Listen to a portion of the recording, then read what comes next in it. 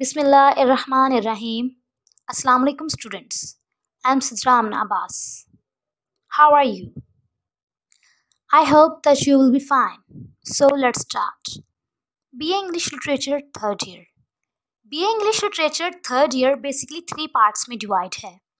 First of all इसका जो first part है, वो शॉर्ट स्टोरीज पर बेस्ड है. एंड शॉर्ट स्टोरीज टेन है. देन नोवेल है, जिसका नेम एनिमल फॉर्म है.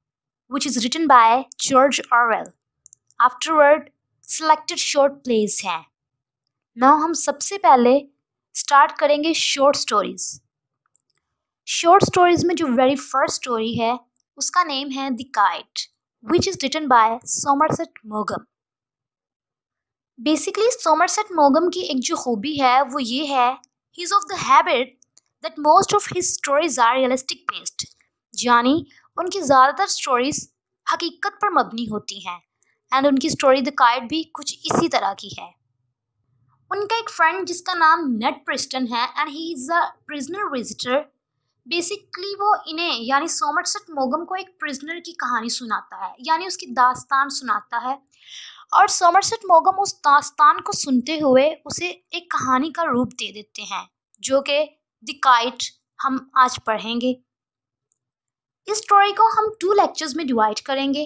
फ़र्स्ट लेक्चर में हम स्टोरी को डिस्कस करेंगे एंड सेकेंड लेक्चर में हम एक्सपेक्टेड क्वेश्चन को डिस्कस करेंगे। And we will discuss that how to attempt the questions in the paper so first of all I am going to introduce you the characters of the stories in this story there are four main characters first character is mister Samuel Sunbury the second character is missus Beatrice Sunbury The third character is Mr. Herbert Sunbury.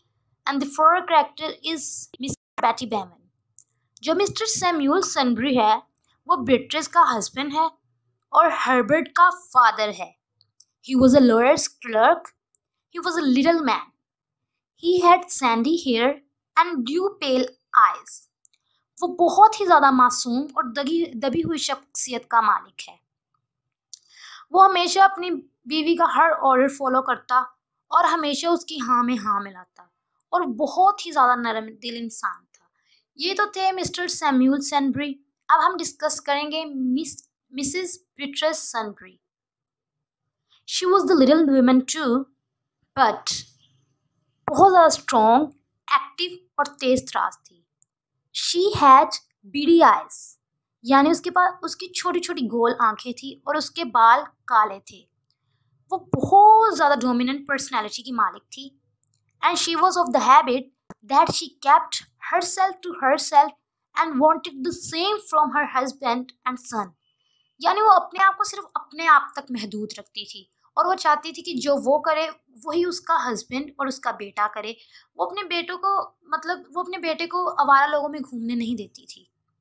उसने अपनी पूरी life में कभी lipstick और powder puff का use नहीं किया था। वो बहुत ज़्यादा गुस्से वाली थी और वो अपने बेटे का बहुत ख्याल रखती और उसको कभी खोने से मतलब खोना नहीं चाहती थी। अब हम डिस्कस करेंगे उसके बेटे यानी हर्बर्ट सनबरी के करेक्टर को। हर्बर्ट अपने माँ बाप की इकलौती औलाद था। He was very good looking guy वो अपने पेरेंट्स का बहुत ज़्यादा फरम बरदार था। Was very good in mathematics, so his father decided to make him an accountant.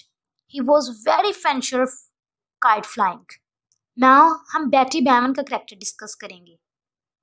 She work in the type writing office in a city her mother was died and her father married again she was probably saints family she was age same age missus Sunbury was in her age she had also beady eyes she snatch Herbert from his parents ये तो थे हमारी story के characters अब हम discuss करेंगे story कि story में बेसिकली होता क्या है और ये स्टोरी को दिकाइट नाम क्यों दिया गया? सेम्यूल सनब्री और उसकी wife Beatrice Sunbury London suburbs में रहते थे। यानी सबर्ब्स ऐसे इलाके को कहते हैं जो कि शहर से थोड़ा सा दूर हो। मिस्टर सनबरी एक लॉयर के ऑफ़िस में ऑफ़िस बॉय के तौर पर काम करता था। यानी वो एक लॉयर के ऑफ़िस में ऑफ़िस बॉय था। लेकिन कुछ देर बाद वो एक बहुत ज़्यादा रिस्पेक्टेबल पोजीशन तक पहुँच गया, यानी वो ऑफ़िस बॉय नहीं रहा। और वो बहुत ज़्यादा मोजिज़ इंसान बन गया था। उसके ऑफ़िस के लोग उसे कभी कभी प्यार से सैम बुलाते थे। Mister Sunbury twenty four years से एक ही ट्रेन यानी सेम ट्रेन से ऑफ़िस जाता एंड सेम ट्रेन से उसी, यानी जिस ट्रेन से ऑफ़िस जाता था, उसी ट्रेन से घर वापस आता। उनके पास सिर्फ़ एक ही बेटा था। उसका नाम था Herbert Sunbury. Herbert grow into a fine looking sturdy young man with the blue eyes After his school, he easily got a job an accountant with the handsome salary. उनके घर के पास एक बहुत बड़ा खुला मैदान था जहाँ पर बहुत ज़्यादा काइट फ्लाइज आते और बहुत शौक से पतंग उड़ाते थे। हर्बर्ट भी अपने पेरेंट्स के साथ वहाँ पर जाता और and gradually he and his parents pulled in to the passion of the kite flying missus Sunbury जो कि एक पैसुलर लेडी थी यानी ऐसी औरत थी जो कि लोगों के साथ रबते पर बिलीव नहीं करती थी और अपने आप को अपने आप तक ही महदूद रखती थी। वो भी लोगों के साथ रबते में आना शुरू हो गई। And on every Saturday they visited to the common और we can say the ground where they use to fly the kites एक वक्त ऐसा आया कि हर्बर्ट सिनेमाज में जाना स्टार्ट हो गया। एक बार जब वो सिनेमा में गया तो वह सीट पर बैठा हुआ था। एक लड़की उसके साथ बैठी थी। लड़की का पर्स नीचे गिर गया, और उसने वो पर्स उठा के दिया। उस she was very thankful to him soon they become acquaintance यानी उनकी वाकफियत हो गई और वो अच्छे दोस्त बन गए। Her name was Betty Bevan after some time Herbert ने बैटी को चाय के लिए अपने घर पर बुलाया and after inviting Betty to the tea at home Herbert ने ये बात डिक्लेयर की कि वो बैटी के साथ इंगेज है। जब हर्बर्ट की मोम ने ये सुना तो शी स्पॉन्ड इट यानी उसने हकारत से इस चीज़ का इनकार कर दिया। उसने हकारत से उनके रिश्ते को रद्द कर दिया। क्योंकि बिट्रिस को ये लगता था कि हर लड़की एक बेटे को उसकी माँ से छीनने के लिए ऐसा ही करती है। She thought that it was a similar device of Betty कुछ दिनों बाद दोनों ने शादी कर ली, लेकिन अपने पेरेंट्स को नहीं बुलाया। बेटी की तो बेटी के तो पेरेंट्स वैसे ही नहीं थे, और हर्बर्ट ने इस खौफ से नहीं बुलाया कि उसके पेरेंट्स उसका मतलब बेटी के साथ उसकी शादी नहीं होने देंगे, इस रिश्ते से इनकार कर देंगे। सो उसने ये सोचते हुए अपने पेरेंट्स को शादी पर नहीं बुलाया। उन्होंने एक घर जो कि दो कमरों पर मुश्तमिल था और कुछ फर्नीचर किराए पर ले लिया। Afterwards time of the romance went by and there began the time of the monotony and repetitions यानी हर्बर्ट अब बैटी से शादी करके बहुत ज़्यादा पछता रहा था। बैटी को काइट से बहुत ज़्यादा नफरत थी। वो वो काइट फ्लाइंग को बेवकूफ़ाना हरकत समझती थी और वो समझती थी कि ये एक छोटे बच्चों का काम है। ये बड़े बच्चों का बड़े लोगों का इसमें कोई आ, काम नहीं।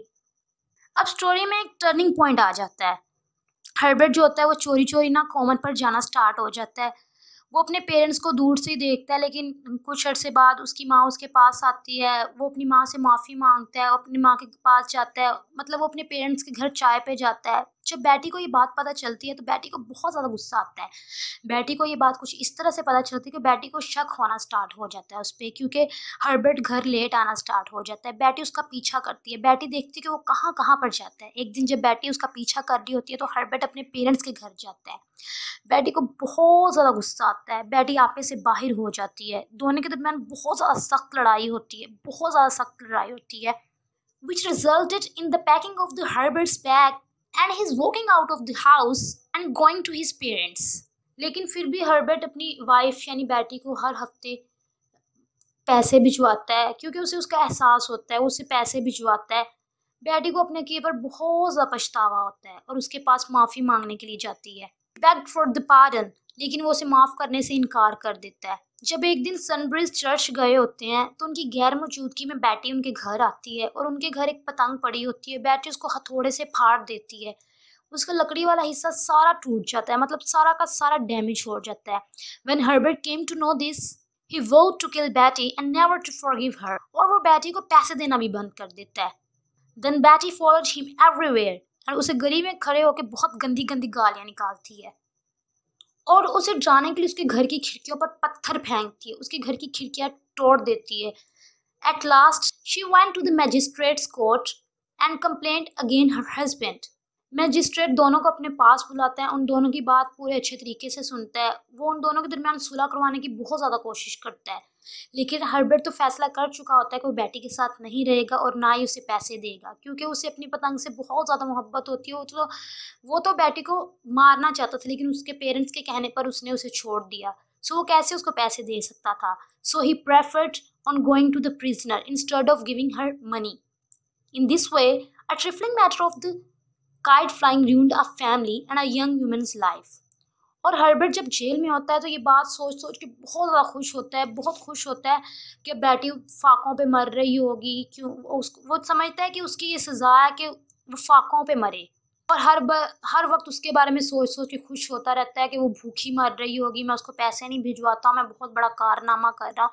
And in this way the story ended इनशाला अब तीन दिन बाद सेकंड लेक्चर में हम इम्पोर्टेंट क्वेश्चन डिस्कस करेंगे और ये डिस्कस करेंगे कि उनको कैसे अटैम्प्ट किया जाता है, कैसे अच्छे मार्क्स लिए जाते हैं पेपर्स में। खुदा हाफिज़, अल्हम्दुलिल्लाह।